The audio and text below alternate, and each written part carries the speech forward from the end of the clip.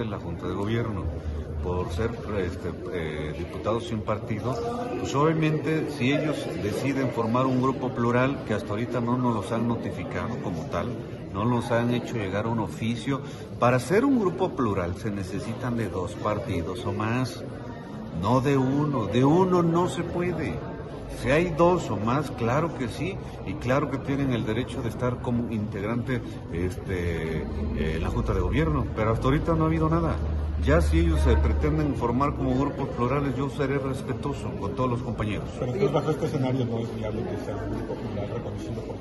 No, pues sí tiene que ser, tiene que ser. Sí, tiene que. Ahorita en este momento, como ellos son de, de un solo partido y renunciaron, están sin partidos.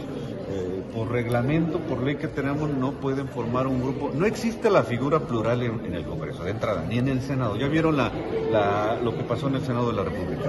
Como tal en Puebla no existe, también no tenemos esa figura. Pero si ellos deciden conformarse como un grupo plural, se necesitan de dos partidos. No puede haber pluralidad de un solo grupo. No sería lo correcto y no sería lo adecuado. Se necesitan de ¿Y dos.